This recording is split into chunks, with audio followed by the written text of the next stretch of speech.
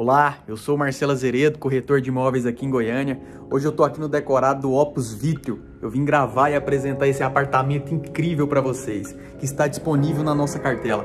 Acompanhe o vídeo e depois me diz o que você achou desse empreendimento. Um abraço.